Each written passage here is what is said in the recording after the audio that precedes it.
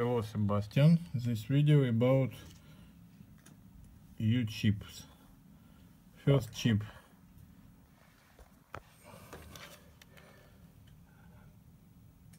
Focal length 105 mm and aperture 2.8 from 32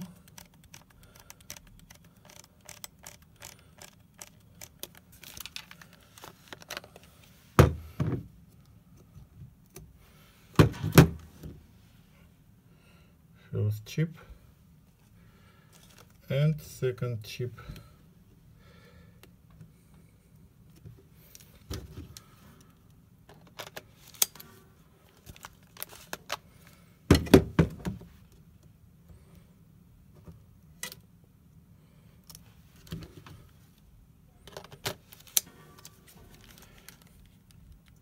Focal length 300 millimeter aperture four 5 to 32